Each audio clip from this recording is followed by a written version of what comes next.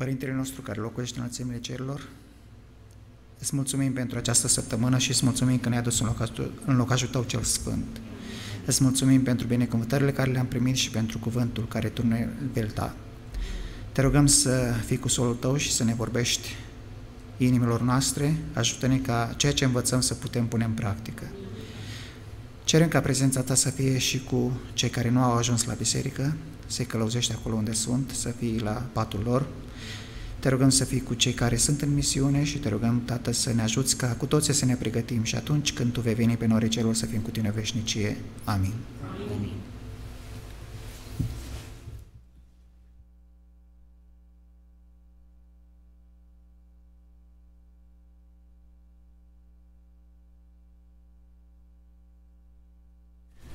Aș vrea să vă Aș vrea să vă invit să continuăm subiectul nostru legat de Duhul Sfânt. Ultima dată când ne-am întâlnit în jurul Cuvântului lui Dumnezeu, am uh, studiat împreună despre Duhul Sfânt și emoțiile noastre, după care am făcut un pas mai departe, l-am avut invitat pe doctorul Toledo aici, care ne-a vorbit despre depresia, despre problemele ei. Aș vrea să încadrați acest subiect cumva în ideea că Duhul Sfânt ne poate vindeca. Atât angoaza emoțională, cât și depresia pe care noi o producem în ființele noastre datorită sentimentului de vinovăție, datorită lipsei comuniunii cu Dumnezeu și datorită unui gol emoțional extrem de puternic care se poate instala în viața noastră. Nu doresc absolut deloc să vorbesc despre depresiile care au loc datorită dezechilibrului chimic care se întâmplă în organismul nostru, ci de acele depresii spirituale care pornesc în ființa noastră din elementele spirituale care sunt dezechilibrate datorită diferitelor forme de cauzalitate legate de călcarea legii lui Dumnezeu, de păcat, de simțămintele de vinovăție, etc. În seara aceasta însă vă invit să vorbim despre rugăciune și Duhul Sfânt. Rugăciune. Pentru ca să fim expeditivi, vă voi invita să deschidem Cuvântul lui Dumnezeu în Romani, capitolul 8, versetul 26. De fapt, vă voi invita să studiem, cred că, trei texte mari. Primul, în Romani 8, versetul 26, tot astfel și Duhul ne ajută în slăbiciunea noastră, căci nu știm cum trebuie să ne rugăm. Fraților, slăbiciune. E interesant textul din, sau termenul în original care apare aici. Dacă v-aș ruga să intuiți termenul original, n-ar fi foarte greu să-l intuiți. Este un cuvânt pe care îl folosim foarte serios, mai ales primăvara. În România, după ce omul iese din iarnă, se instalează primăvara, o anume stare care în medicină se numește astenia de primăvară. Aici, când se spune ne ajută în slăbiciunea noastră, cuvântul pe care îl avem este cuvântul astenia sau astenia în limba greacă ne ajută în astenia noastră. Vă dați seama, când se spune că ne ajută în slăbiciunea noastră, ni se spune că, de fapt, noi, din punct de vedere spiritual, avem un fel de astenie. Ce înseamnă astenie? Înseamnă lipsă de putere. O ciudată lipsă de putere. Avem o lipsă de putere în așa fel încât nici măcar nu putem să ne rugăm. Pentru rugăciune noi avem nevoie de o anumită putere, avem nevoie de o anumită forță spirituală în interiorul nostru, care lipsește. Aș vrea să înțelegem bine lucrul ăsta. Fără forța aceasta de pătrundere în miezul lucrurilor, rugăciunea noastră devine foarte superficială. N-are nimic de a face cu cauzele profunde ale ființei noastre care ar trebui să ne preocupe. Noi ne rugăm despre lucruri care sunt unde? Exterioare nouă, la suprafața noastră, care nu au de a face cu profunzimea lucrării lui Dumnezeu în viața noastră. Cu alte cuvinte, prima concluzie la care ajungem, frații mei, este că noi, prin noi înșine, nu putem să ne rugăm. Prima concluzie. Nu putem să ne rugăm. Există un soi de rugăciuni firești. Am vorbit despre ele. Spre exemplu, Saul. În primul său uh, eveniment mai special în cadrul domniei sale, atunci când uh, Samuel îi spune, te rog frumos, așteaptă-mă șapte zile până vin eu. După aceea are loc, va avea loc jertfa și după ce are loc jertfa, după aceea Dumnezeu va avea grijă de lupta care va avea loc. Vă amintiți? Um, este în 1 Samuel, capitolul 13, după ce, cei doi ani buni ai lui Saul, după aceea Saul stă față în față cu filistenii, își dă seama că trebuie să înceapă lupta datorită faptului că cu zi, de la o zi la alta, pe zi ce trece, poporul își pierde curajul lui, vede că rămâne cu oameni din ce în ce mai puțini, își dă seama că dacă lucrurile vor, se vor prelungi mai departe, oamenii vor fi și mai puțini și atunci el zice trebuie să încep lupta. Nu se mai poate. Singurul lucru care îl împiedica să înceapă lupta era nu se poate să încep lupta fără rugăciune. Și atunci el hotărăște, haide domnule să facem și treaba asta, haide să facem și lucrul ăsta, haide să aducem jertfă. Aduceți încoace animalele, le tăiem și pornim la bătălie. Ăsta este spiritul în care Saul aduce jertfă. Ăsta este spiritul rugăciunii în ghilimele a lui Saul.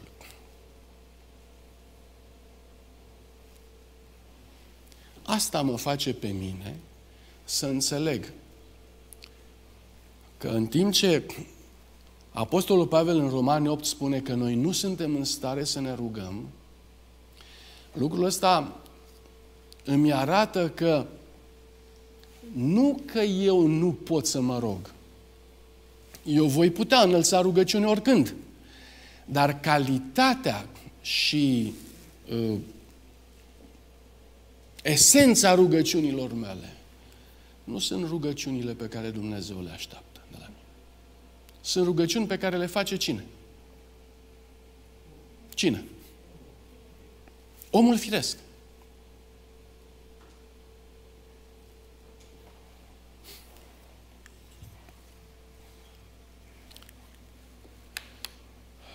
Există o pioșenie generală a omului. Indiferent că este creștin sau nu, omul se roagă. E adevărat? Păgânii din hinduism, din budism, din islamism și așa mai departe, toți cei care nu sunt creștini, se roagă și ei. Din ce cauză?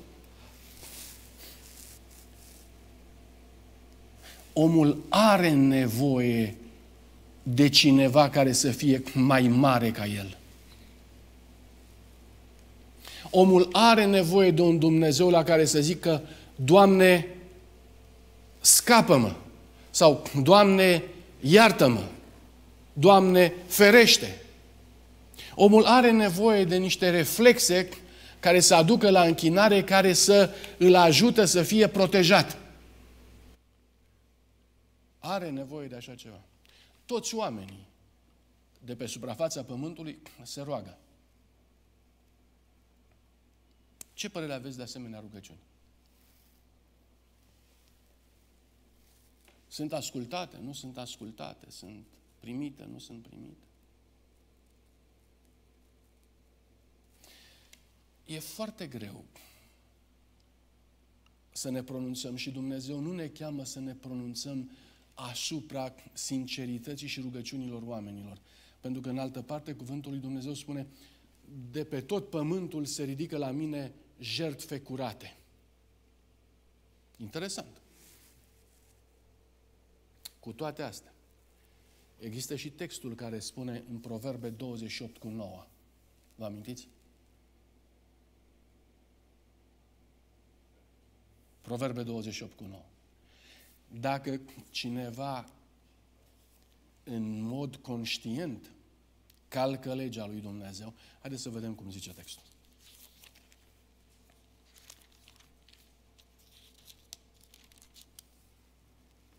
Dacă cineva își întoarce urechea ca să n-asculte legea, cu alte cuvinte, dacă cineva nu vrea să țină cont de legea lui Dumnezeu, rugăciunea lui este o scârbă. Exemplu, Carmel. La Carmel, Ilie i-a chemat pe preoții lui Bal și Astartei, care au făcut împreună un număr de 850 de proroci. 400 plus 450. Au cerut să se coboare foc din cer. Care era problema acestor aproape o mie de preoți ai lui Bal și Astartei? Care era problema lor?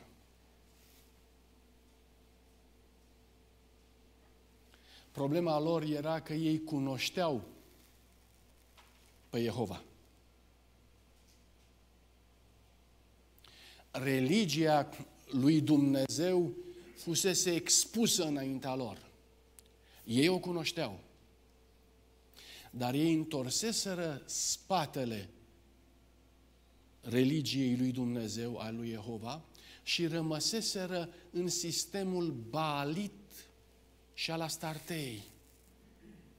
Ei doriseră să fuzioneze cu Jehova pe ideea că Dumnezeul lor, Baal, se numea Domnul și era și domnul lui Israel, și era și domnul filistenilor, era și domnul celor de la Tir, era un nou domn a cărui umbrele trebuia să acopere toate celelalte religii care erau acolo.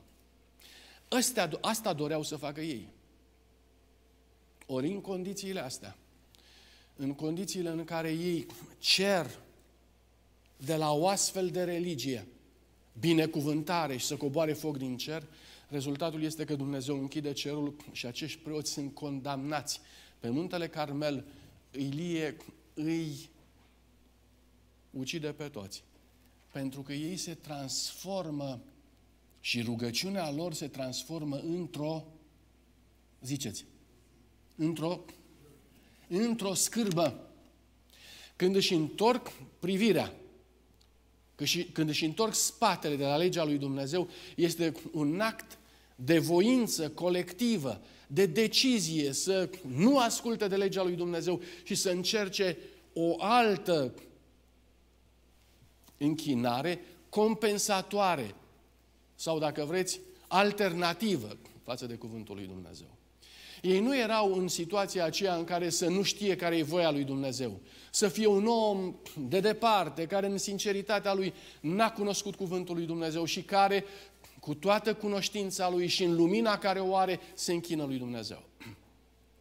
Ei nu fac parte din oamenii aceia care, povestea spune, că într-o zonă îndepărtată, o familie, soțul își găsește soția bolnavă acasă și spune, Doamne, te rog frumos să o vindeci. Nu știa nimic, nu auzise nici de scriptură, nici de alt fel de revelație. Și te rog frumos să o vindeci. Și soția s-a vindecat. Și apoi bătrânul care spunea povestea a continuat spunând, s-a dus afară și a zis, ce să fac, Doamne, pentru tine? Și a zis el, uite, merg desculț până în vârful dealului ăluia. Și a mers desculț până în vârful dealului pentru Dumnezeu. Avea ceva de a, avea Dumnezeu nevoie ca el să meargă desculț? Nu avea nevoie. Dar atât a știut. Pe urmă, când a ajuns în vârful dealului, a văzut o buturugă mare și a zis, Doamne, pentru tine, sar peste buturuga asta. Și a luat vânt, a sărit și a zis, una pentru tine, Doamne. Apoi s-a întors înapoi și a mai sărit o dată și a zis, una pentru mine, Doamne. Fraților, N-are nimic de a face Scriptura cu săritul peste buturugă. N-are nimic de a face cu mersul de sculți prin zăpadă până în vârful dealului. Dar omul ăsta atât a știut. Vreau să vă întreb. Vreau să vă întreb. L-a primit Dumnezeu? L-a primit, fraților. Îi una să nu știi și alta e să știi și să întorci spatele legii lui Dumnezeu și să sar peste buturugă. Este cu totul altceva. Revenind la problema rugăciunii. Fraților, în firea noastră veche, noi nu ne putem ruga. Nu ține de noi să rostim rugăciuni înaintea lui Dumnezeu. Firea noastră veche nu se poate îngenunchea de bunăvoie. Eu o pot îngenunchea înaintea lui Dumnezeu, de-aia va sta tot în picioare. Noi nu putem înălța rugăciuni. Spuneam și altă dată, aduceți-vă aminte de rugăciunile acelea pe care le facem în fugă, din greșeală aproape, la masă, când ne culcăm, când ne sculăm înainte de a fugi la serviciu. Rugăciuni pe care le facem din rutină. Rutina este o problemă firească. Obișnuința este o problemă firească. Când vom ieși din această zonă? Simplu, atunci când sufletul ne va opri în loc și sufletul ne va învăța să stăm înaintea lui Dumnezeu pe genunchi până când sufletul nostru se va umple, până când golul se va umple. Pentru asta e nevoie de timp. Pentru asta este nevoie de sinceritate. Pentru asta este nevoie de lacrimi uneori. Rugăciunea asta o caută Dumnezeu. Să ne ajute Bunul Dumnezeu să nu venim înaintea lui Dumnezeu cu rugăciuni firești de umplutură. Oricât de frumoase ar fi, oricât de bine rostite ar fi, Dumnezeu n-are nevoie de ele. Rețineți, rețineți, fraților, noi nu știm nici măcar să ne rugăm. De aceea, Duhul Sfânt ne ajută în astenia noastră.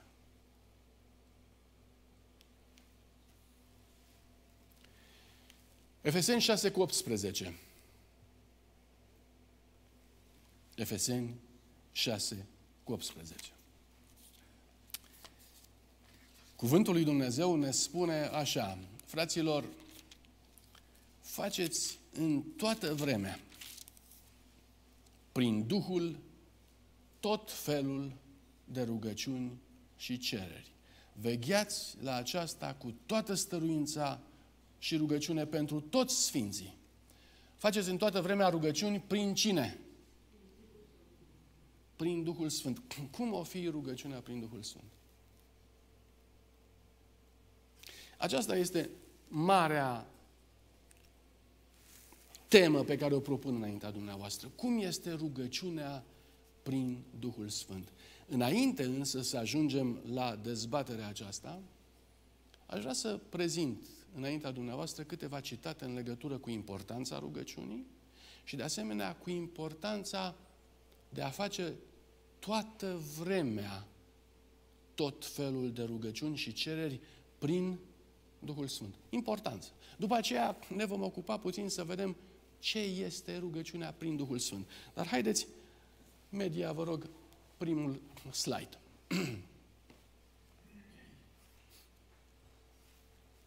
Vă spuneam, noi nu putem să ne rugăm. Nu știm să ne rugăm. Iată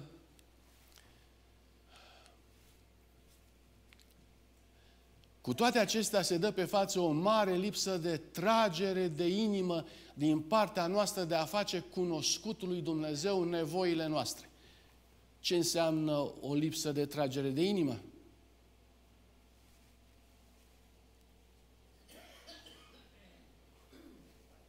Nu mă trage inima, ce e aia? Poftiți? Mulțumesc, astenie.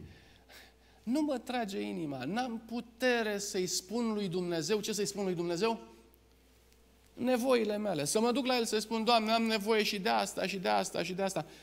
Uneori m-am săturat de nevoile mele. Le știu așa de bine încât am impresia că nu mai trebuie să mă duc înaintea lui Dumnezeu cu ele și spun, le știe Dumnezeu. Doamne, ai Tu grijă de mine, de nevoile mele. Nu! Îngerii găsesc o mare plăcere să se plece înaintea lui Dumnezeu și să stea lângă El, să stea de vorbă cu El. Ei consideră comuniunea cu Dumnezeu ca fiind cea mai mare bucurie a lor. Totuși, fiii acestui pământ care au așa de multă nevoie de ajutorul pe care numai Dumnezeu îl poate da, se simt parcă mulțumiți să umble în afara luminii Duhului Său și fără însoțirea prezenței sale. În afara luminii Duhului Sfânt. Și fără însoțirea prezenței sale. Fraților, asta este una dintre problemele noastre. Ca biserică, ce așteptăm venirea Domnului Isus Hristos, asta este o problemă. Nu ne trage inima. Nu avem dragoste pentru rugăciune. Avem impresia că Dumnezeu știe tot și umblăm în afara luminii Duhului Său. Este extraordinar. Cuvântul lui Dumnezeu spune că noi ar trebui să fim însoțiți de o atmosferă de lumină și pace. Asta este atmosfera Duhului Sfânt.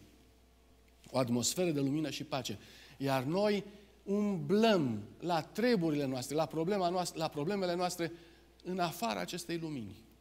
Ieșim de sub clopotul acesta de prezență divină. Prezența este aici și noi suntem la 2 metri mai încolo, poate la 3, la 30 de metri. Duhul Sfânt este aici și eu sunt acolo. De ce?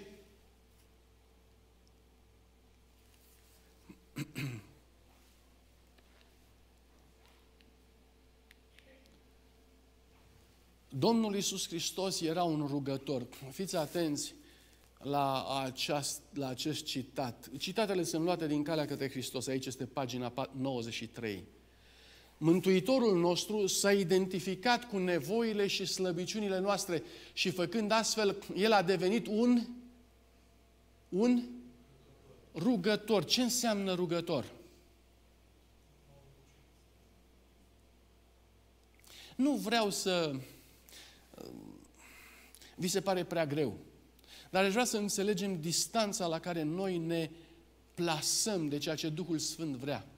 Domnul Iisus Hristos devine rugător, un om al rugăciunii care oricând se delectează în rugăciune, iar nouă ni se pare rugăciunea ca fiind ceva apăsător, greoi. Nu îi simțim dulceața. Minutele mele de rugăciune sunt scurte, rapide, nu le urmăresc toată ziua. Orele de rugăciune sunt de asemenea destul de neplăcute pentru mine, pe când Domnul Iisus Hristos devenise un rugător, un petiționar, cum?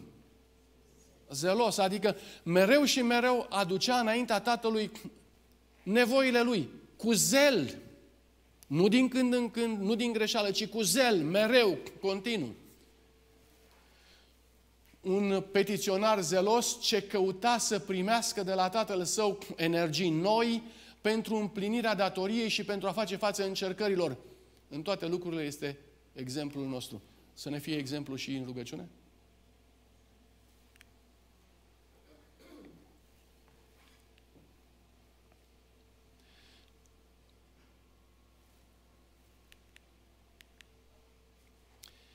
Este necesară silința în rugăciune. Nimeni și nimic să nu te împiedice de la aceasta. Trebuie să depui orice efort pentru a păstra deschisă comuniunea dintre Domnul Hristos și ființa ta.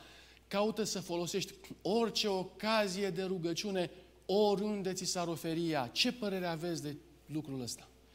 Caută să folosești orice ocazie de rugăciune oriunde ți se oferă. Suntem noi dispuși la așa ceva? Căutăm noi asta?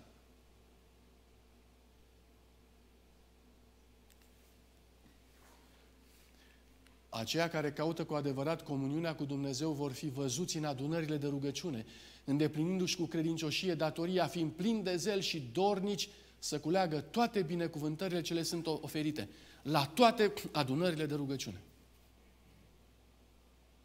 Fraților, dacă vreau să vă spun că dacă ar fi un sabat în care să fie numai ore de rugăciune, biserica noastră ar fi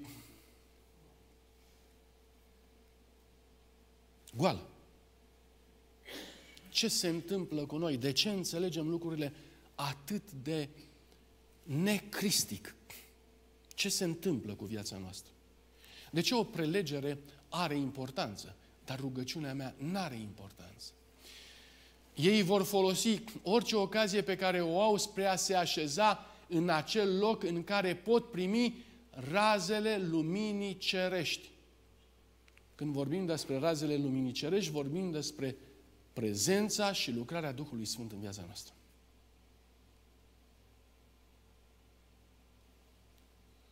Ora de rugăciune, aproape, departe de mine. Gustul rugăciunii, aproape, departe de mine. Cum e? Um, auziți, este necesară silința. A, și la rugăciune să te chinui. Este necesar efortul și la rugăciune să faci efort. Este necesară orice ocazie de rugăciune, dar ce nu poți să mai sar peste? Dar ce este nevoie? Nu ajunge o oră. Orice efort, unde auzi de rugăciune, mă duc acolo. Când auzi de rugăciune, mă duc acolo. Nu se poate. Este undeva rugăciune, sunt și eu acolo. Ăsta este standardul. Ăsta este chemarea lui Dumnezeu. E cumva ceva diferit în viața mea? Este? Fraților, um, textul al treilea. Motivația sau izvorul rugăciunii. Ce înseamnă rugăciunea făcută prin Duhul Sfânt? Vă voi invita în Vechiul Testament, în Zaharia, este textul acela uluitor, care îmi place mult, sper să vă placă și dumneavoastră. Este textul care zice așa. Atunci voi turna peste casa lui David, peste toți locuitorii Ierusalimului, un duh de ce fel de duh? De îndurare sau de har și de rugăciune. Și își vor întoarce privirile spre mine pe care l-au străpuns. Îl vor plânge cum plânge cineva pe singurul lui fiu. Îl vor plânge amarnic cum plânge cineva pe întâiul născut. Fraților, Duhul de rugăciune de aici este un duh de implorare. În limba engleză este supplication. Este un duh de implorare. Nu este un duh de a face rugăciune, ca și cum ai face cereri. Este mai mult decât atât. Este implorare. Al implora pe Dumnezeu. Uh, rețineți această legătură între Duh și rugăciune. Duhul Sfânt și rugăciune. Voi trimite peste poporul lui Dumnezeu un duh de rugăciune sau de implorare. Hm. Cum se întâmplă treaba asta? Partea a doua a textului spune, voi trimite un duh de îndurare și rugăciune și își vor întoarce privirile spre mine. Vor privi pe cine? Păi Domnul Iisus Hristos crucificat. Crucificarea Domnului Iisus Hristos este motivul pentru rugăciunile noastre. Fraților, este cu totul altceva ca motivul pentru rugăciunea mea să fie Doamne, scapă-mă. Știți, Petru, în momentul în care se afunda în apă, a zis, Doamne, scapă-mă. Este o rugăciune de viață și de moarte. N-ai încotro, trebuie să te rogi. Dar nu este rugăciunea Duhului aceasta. Nu este rugăciunea plănuită de Duhul, nu este rugăciunea așezată de Duhul, astfel încât Domnul Iisus Hristos îi spune lui Petru, omule, te rogi tu, dar te rogi cum? Cu credință, fără. Fără credință. Rugăciunea Duhului Sfânt, aceea pe care o lucrează Duhul Sfânt, o cizelează Duhul Sfânt, este rugăciunea aceea în care omul privește la Domnul Isus Hristos și îl vede. Și spune mai departe, își vor întoarce privirile spre mine, spre acela care l-au străpuns. Cu alte cuvinte, Duhul Sfânt ne întoarce privirea spre crucea Domnului Isus Hristos. Este uluitor acest tablou. Vor rămâne cu privirile ațintite acolo și vom ajunge la concluzia următoare. Cine l-a străpuns pe Domnul Isus Hristos? Poftiți? Textul spune, își vor întoarce privirile spre acela pe care l-au străpuns cine? Ei! Se realizează o legătură personală între mine și cruce și ajung la concluzia că eu am străpuns pe cel care este pe cruce. Eu l-am pus acolo pe Domnul Isus Hristos. Și urmarea rugăciunii este, sau urmarea privirii acestea este că, ce vor face mai departe? Haideți! Îl vor plânge. Și zice, mă vor plânge pe mine. Fraților, rugăciunile nu sunt rugăciuni superficiale, sunt rugăciuni care au de-a face cu zbuciumarea sufletului întreg, cu plânsul lui Dumnezeu și plânsul pentru Domnul Isus Hristos. pentru că n-am vrut să amintesc, dar întorcându-ne la, la Roman, capitolul 8, textul următor spune așa. Adică același text. Însuși Duhul mijlocește pentru noi cu suspine negrăite. Este vorba de Duhul plânsului. Cum și de ce plânge Duhul? Din ce cauză plânge Duhul? Pentru că îl vede pe Iisus Hristos răstignit. Din ce cauză plâng eu? Pentru că îmi dau seama că eu l-am răstignit. Fraților, nu există rugăciuni fără lacrimi. Nu există. Nu există rugăciuni fără lacrimi atunci când implori prezența lui Dumnezeu și prezența Duhului Sfânt în viața noastră. Nu există rugăciuni atunci când stai față în față cu crucea Domnului Isus Hristos. Nu există rugăciuni fără lacrimi. Nu există cerere așa superficiale. Doamne, am nevoie să mă ajut să mai cumpăr o mașină, o plasă de roșii, două vinete și patru pere. Nu. Nu cu asta au de-a face rugăciunile rostite de Duhul Sfânt. Rugăciunile rostite de Duhul Sfânt, mijlocite de El, sunt rugăciunile care ne duc față în față cu Domnul Isus Hristos crucificat și străpuns de, de mine. Este fascinant textul acesta care spune îl vor plânge amarnic cum plânge cineva pe un întâi născut. Există un singur experiment de felul acesta pe care eu l-am găsit în Sfânta Scriptură și l-am mai studiat împreună. Este experimentul Samuel. În 1 Samuel, capitolul 7, cu versetul 2, îmi spune că atunci tot poporul Israel a plâns de în ce cauză? Poftiți? A plâns după Domnul.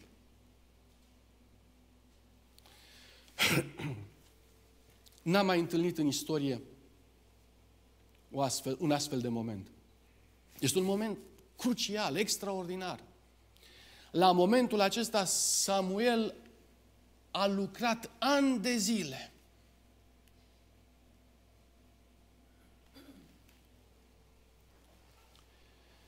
Samuel a stat de vorbă cu poporul și le-a spus că prin purtarea lor, ei l-au îndepărtat pe Dumnezeu din locul lor sau din mijlocul lor. El le-a spus că sub Eli, în momentul în care s-a pierdut chivotul, nu s-a pierdut doar chivotul, ci strigătul acela Icabod a fost un strigăt în legătură cu faptul că poporul Israel pierduse pe Dumnezeu, prezența Lui din mijlocul lor. Samuel a stat de vorbă cu ei, a avut o lucrare de pastorație în care mergea și lua Israelul de la un capăt la altul.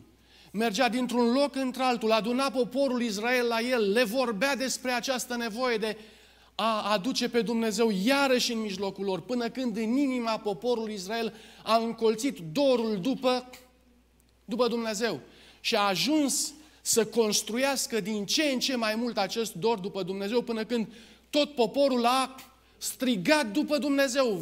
Doamne, vino înapoi! Lucrul ăsta s-a mai întâmplat undeva în Egipt, când sub povara muncilor egiptene, poporul a strigat către Dumnezeu, dar nu din cauza că el era dor după Dumnezeu, ci din cauza că le era prea greu. Lucrul ăsta s-a mai întâmplat pe timpul judecătorilor, dar nu din cauza că le era dor după Dumnezeu, ci din cauza că nu mai puteau. Și Dumnezeu le mai trimitea un alt judecător și salva. Dar sub Samuel s-a întâmplat acest lucru unic. Și anume, poporul acesta a descoperit dorul după Dumnezeu. Fraților, se poate întâmpla ca noi să stăm în biserică fără să ne fie dor de cer? Se poate întâmpla să stăm în biserică și să fim mulțumiți cu existența noastră pe pământul ăsta și să nu vedem nimic mai mult de atât? Se poate? Mi-e teamă de asta.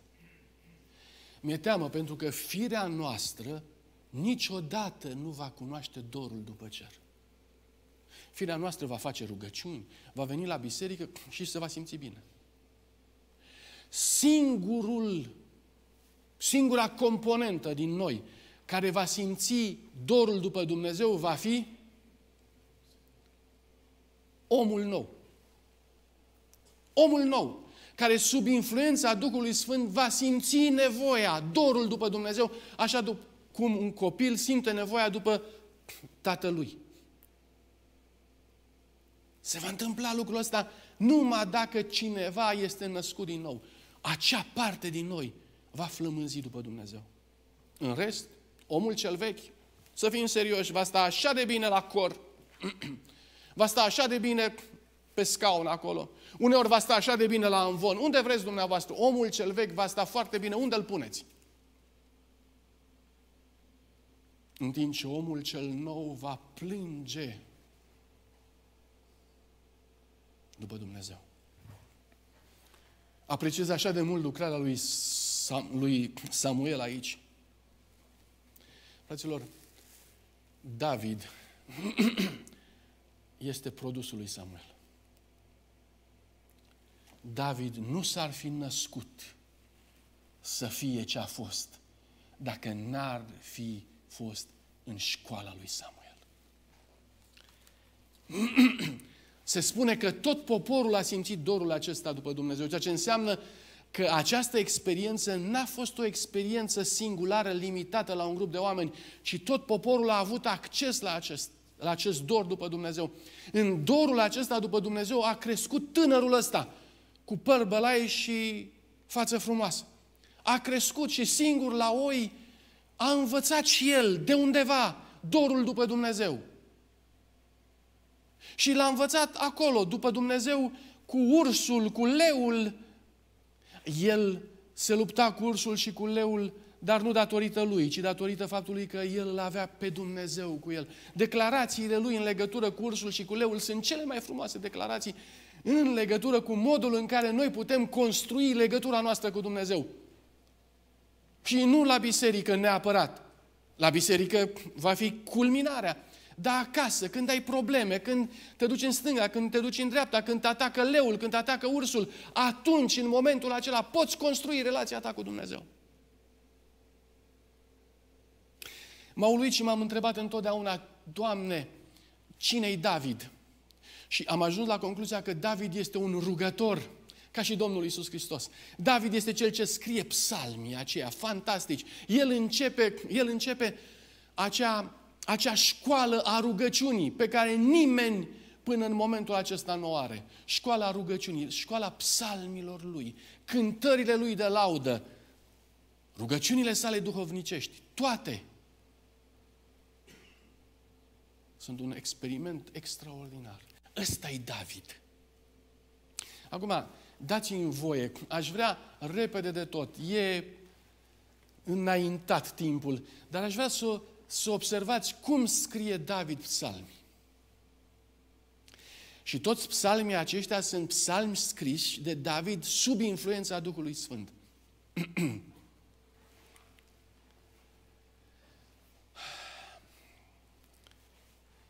Doamne, auzi în glasul dimineața. Dimineața eu îmi îndrept rugăciunea spre Tine și um, ce e comun pentru noi în textul ăsta? Dimineața. Ne rugăm dimineața. Cred că nu este cineva care să plece la lucru sau fără să se roage lui Dumnezeu. Dar partea a doua, și aștept. Aștept, Doamne. Ce aștept? Vreau să văd, Doamne, când îmi răspunzi. Când? La 8 și 5, la 8 și 10, la 8 și un sfert, la 9, la 10. Când îmi răspunzi? Punctul 1. Punctul numărul 2. Doamne, eu te chem, vino de grabă la mine, ia aminte la glasul meu când te chem, ca tămâia să fie rugăciunea mea înaintea ta, ca jerfa de seară să fie ridicarea mâinilor mele. Când își ridica David mâinile? Seara. Observați, dimineața și seara. Erau momentele speciale ale lui David. Odată cu jertfa de la templu. Venea și el înaintea lui Dumnezeu. Aducea și el jertfa lui. Cum stai tu cu jertfa? L-am numit ritmul circadian, adică ritmul, uh, ritmul veche-odihnă, care este, este limitat de rugăciune. Întotdeauna. Acolo e rugăciune. Ar fi multe de spus aici. Țineți minte lucrul ăsta, că vom merge mai departe.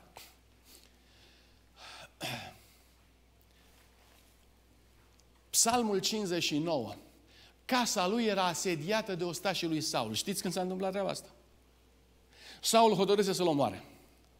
A trimis vorbă să-l ia pe David de acasă, să-l ucidă. Micali a spus, e bolnav. Și Saul i-a zis,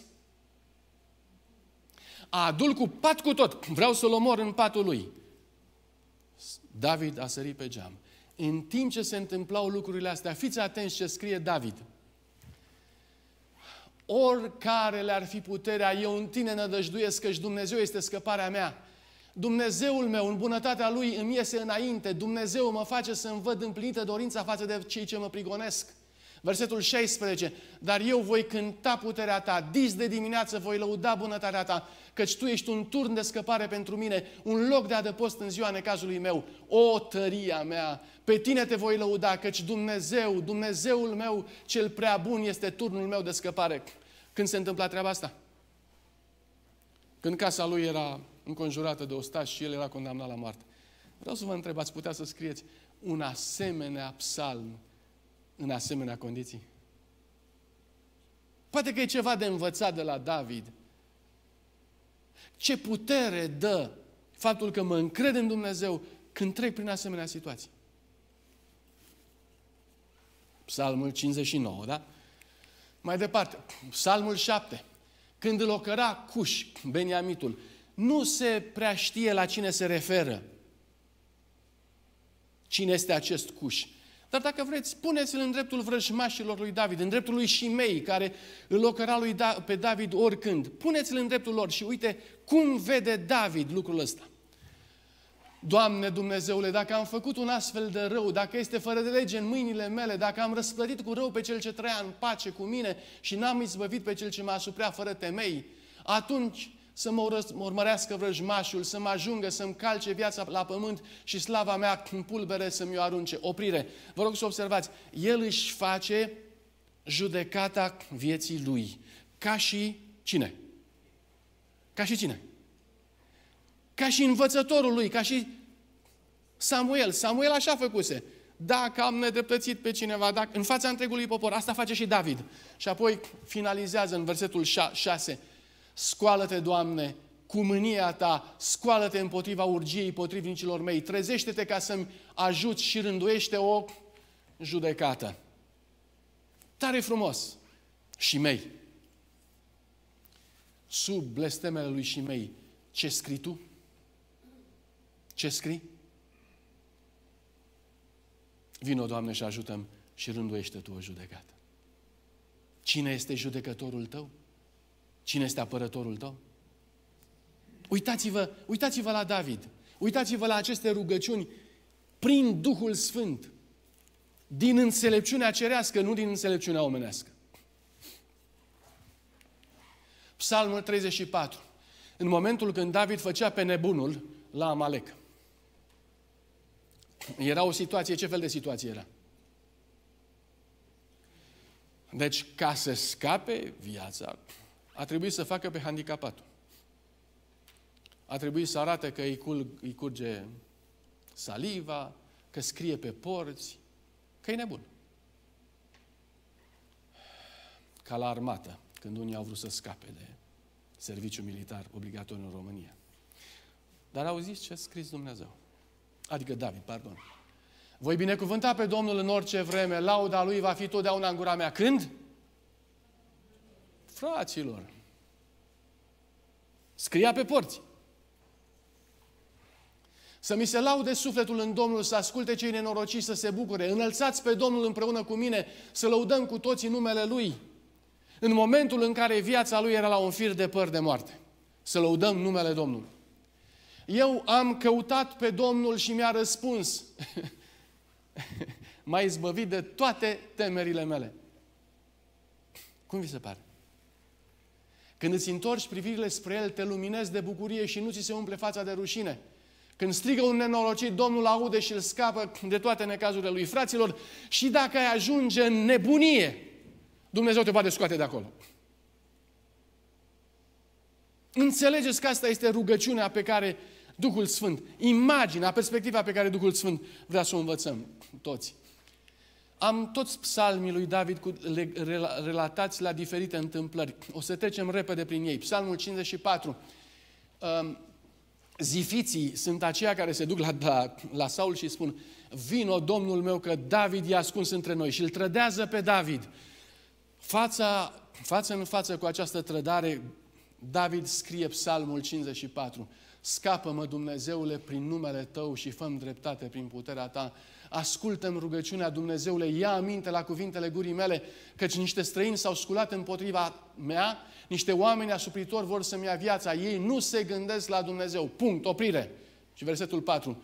Da, Dumnezeu este ajutorul meu, Domnul este sprijinul sufletului meu, în condițiile în care David este trădat de oamenii aceștia. Ce scrii tu? Ce psalm ai tu? Când te trădează cineva, te trădează prietenii tăi, te simți neprețuit și alungat de toți. Ce psalm scrii?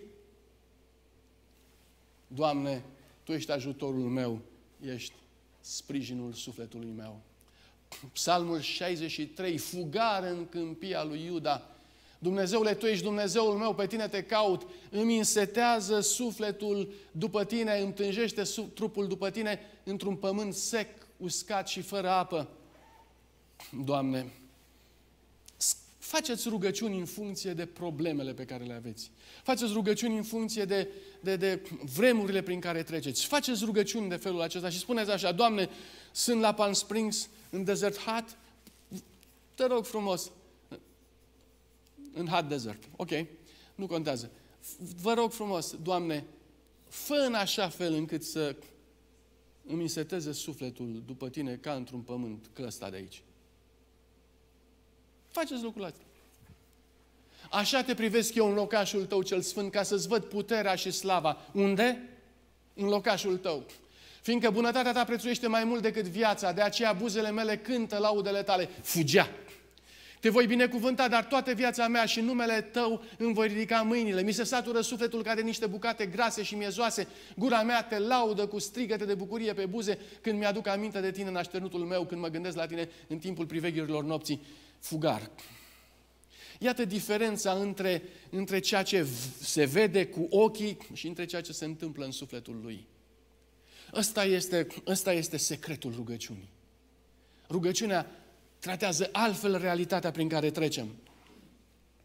L-au prins filistenii la gat, scrie, ai milă de mine Dumnezeule căci niște oameni mă hărțuiesc, toată ziua îmi fac război, mă chinuiesc, toată ziua mă hărțuiesc potrivnicii mei, sunt mulți, se războiesc cu mine ca niște trufași. Fraților, ori de câte ori mă tem, eu mă încred în tine. Voi lăuda mă voi lăuda cu Dumnezeu, cu cuvântul Lui, mă încred în Dumnezeu și nu mă tem de nimic. Ce pot să-mi facă niște oameni? Când? Era înconjurat de filisteni și el spune, ce pot să-mi facă niște oameni? În final, versetul 8, tu numeri pașii vieții mele de priveag, punem lacrimile în burduful tău, nu sunt ele scrise în cartea ta? m-a, m-a cucerit David. M-a cucerit felul acesta de a se ruga, felul acesta de a cânta, felul acesta de a păstra legătura cu Dumnezeu. În peștera Enghedi, cu glasul meu strig către Domnul, cu glasul meu mă rog către Domnul, învărs necazul înaintea Lui, îmi povestesc strâmtorarea înaintea Lui. Când îmi este mâhnit Duhul în mine, Tu îmi cunoști cărarea pe drumul pe care umblu, mi-au întins o cursă. El era în adâncul peșterii. Saul era la gura peșterii și David scrie psalmul ăsta. Aruncă-ți ochii la dreapta și privește. Nimănui, nimeni nu mă mai cunoaște. Orice scăpare este pierdută pentru mine, nimănui nu-i pasă de sufletul meu. Doamne, către Tine strig și zic, Tu ești scăparea mea, partea mea de moștenire pe pământul celor vii. Ia aminte la strigătele mele că sunt nenorocit de tot. Izbăvește-mă de cei ce mă prigonesc, că sunt mai tari decât mine. Scoatem sufletul din temniță ca să laud numele Tău. Cei neprihăniți vor veni să mă înconjoare când îmi vei face bine. Cu psalmul ăsta pe buze, David se duce în tabăra lui Saul și îi taie colțul hainei. Ăsta îi dă putere. Psalmul acesta îi dă curaj.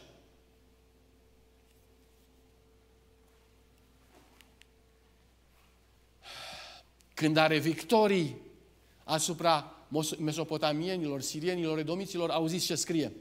Dumnezeule, ne-ai lepădat, ne-ai împrăștiat, te-ai mâniat, ridică-ne iarăși. În momentul tensiunilor acelora de război teribile, David se vede pur și simplu pus la colț. Ai cutremurat pământul, l-ai despicat, drege-i spărturile căci se clatină. Ai făcut pe poporul tău să treacă prin lucruri grele, n-ai adăpat cu vin de amorțire. Ai dat celor ce se tem de tine un steag ca să-l înalțe spre biruința adevărului și dintr-o dată, cu steagul acesta în mână, Psalmul se schimbă în versetele 11 și 12, dă-ne ajutor ca să scăpăm de necaz, că ajutorul omului este zadarnic. Cu Dumnezeu vom face mari isprăvi și El va zdrobi pe vrăjmașii noștri. Și ăsta este psalmul lui. Psalmul victoriei. Cu Dumnezeul nostru vom face mari isprăvi. Mai aveți puțină răbdare pentru citirea de Scriptură. Îmi place mult Psalmul 18, în momentul în care a fost izbăvit de toți vrăjmașii săi, te iubesc din inimă, Doamne, tăria mea. Doamne, Tu ești stânca mea, cetățuia mea, izbăvitorul meu. Dumnezeule, Tu ești stânca mea în care mă ascund, scutul meu, tăria care mă scapă și întăritura mea. Eu strig, lăudat să fie Domnul și sunt izbăvit de vrăjmașii mei. Și de la versetul 6 mai departe spune, Doamne, ai venit din locașul Tău, mi-ai auzit glasul, strigătul meu a ajuns până la Tine, la urechile Tale. Atunci s-a zguduit pământul, s-a cutremurat. Temeliile munților s-au mișcat, s-au clătinat pentru că El se mâniase și universul întreg e martor la venirea Domnului Isus Hristos în favoarea Lui sau în ajutorul Lui.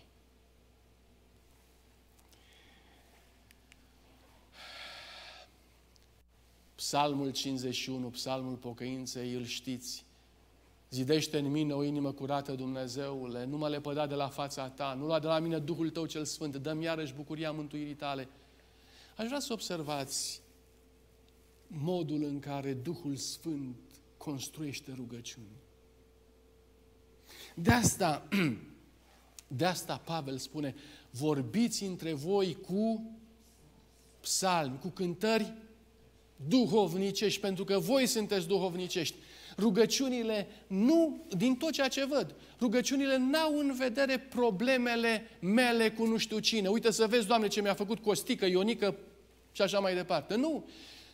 David în toate rugăciunile lui este el și Dumnezeu. Doamne, eu cu tine am problemele astea. Te rog frumos, rezolvă-le tu. Ăsta este modul de rugăciune pe care Dumnezeu vrea să lăsăm ca Duhul Sfânt să-L construiască în noi. în fiecare seară, în fiecare dimineață, în fiecare prânz, rugați-vă continuu pentru ca Dumnezeu să fie în centrul preocupărilor și căutărilor noastre.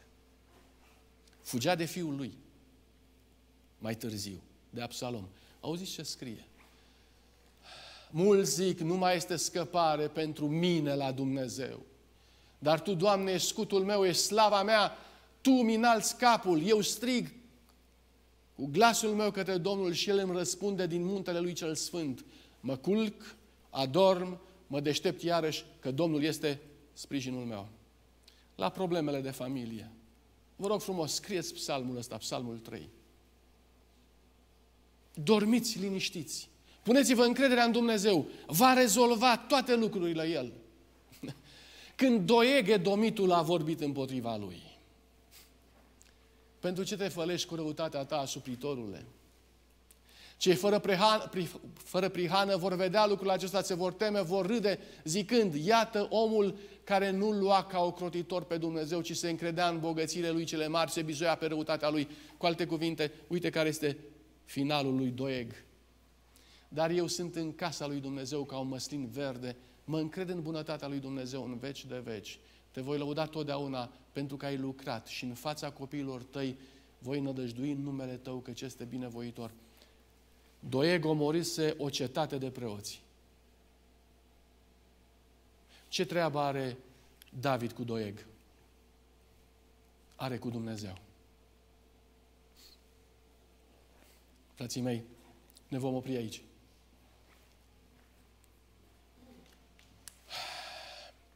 Vă invit ca acest, acest psalm să fie provocarea noastră în fața textului care spune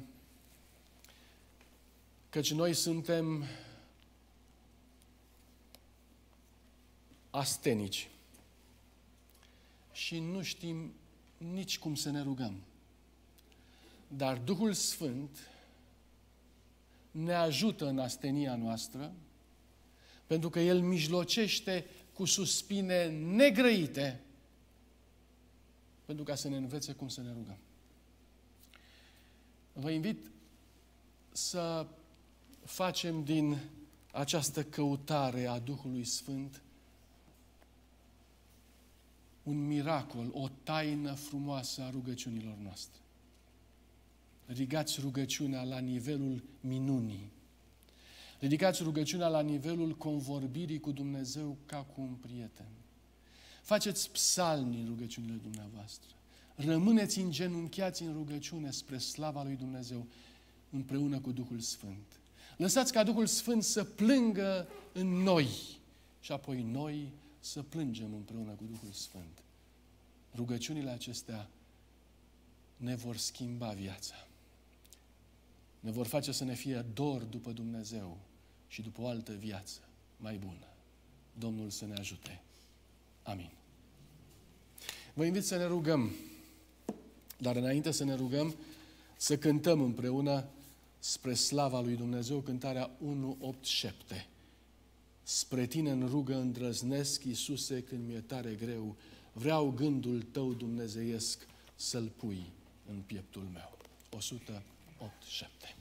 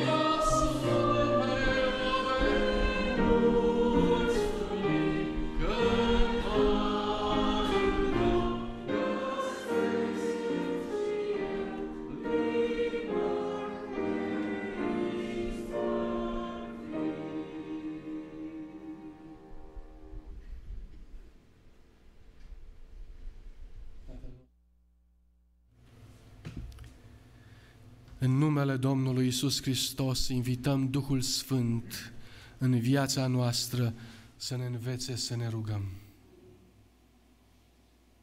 Doamne, ajută-ne să descoperim dulceața rugăciunii. Acea extraordinară comoară în care Tu ni te-ai dat ca să stai de vorbă cu noi, să comunici cu noi în fiecare zi, în fiecare clip. Învață-ne, Părinte, să devenim rugători, așa cum ai fost Tu. Pune în sufletul nostru gândul că în fiecare întâmplare și în fiecare situație a vieții noastre putem să-ți aducem laudă. Putem să ne încredem în Tine. Putem să scoatem un psalm al nădejdii, al speranței și al triumfului Tău în ciuda oricărei situații prin care trecem. De aceea ne predăm în mâna Ta. Doamne, ajută-ne să, să auzim Duhul Sfânt mijlocind pentru noi. Ajută-ne să înțelegem plânsul Duhului și împreună cu El să plângem și noi datorită faptului că Te-am străpuns. Ferește-ne de rugăciunile firești și superficiale și ajută-ne să pătrundem și să coborâm adânc în taina sufletului Tău, ca să înțelegem planul Tău, să înțelegem nevoile Tale, să înțelegem, Părinte, ceea ce Tu dorești să se întâmple în viața noastră și așa să ne rugăm înaintea Ta prin Domnul Isus. Ajută-ne să devenim oameni ai rugăciunii. Amin. thank you